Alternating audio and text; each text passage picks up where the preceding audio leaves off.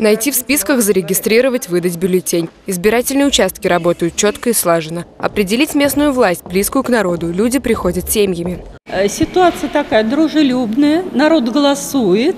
Сейчас вот э, активность повысилась по сравнению с утром. Наверное, где-то э, в 3 часа, где-то процентов 30, наверное, вот так вот проголосовал уже. Сделать свой выбор пришел и заместитель председателя общественной палаты Самарской области Вадим Чумак. Говорит, люди, которые войдут в состав райсоветов, должны знать, для кого им предстоит работать. Высокая явка и поддержка горожан – стимул для будущих депутатов. Для тех депутатов, которых мы сегодня изберем, конечно, принципиально важно, чтобы они почувствовали, что действительно они облечены доверием своих избирателей. Ну, это придаст им, я думаю, силы для того, чтобы э, быть уверенным, они получили доверие, мандат доверия, и они постараются ну, сделать как можно больше для жителей города Самары.